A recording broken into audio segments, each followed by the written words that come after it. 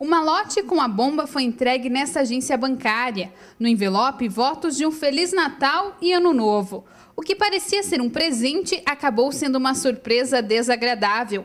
Ao abrir o envelope, a gerente se deparou com uma bomba em formato de banana de dinamite e um celular.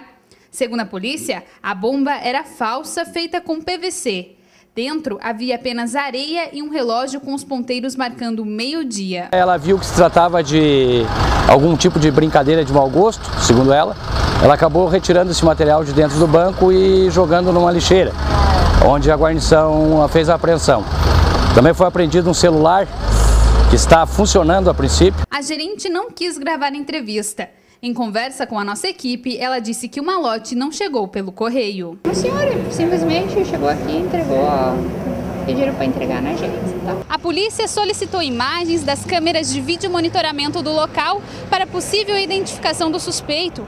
Todo o material será encaminhado para o Instituto Geral de Perícias aqui da cidade.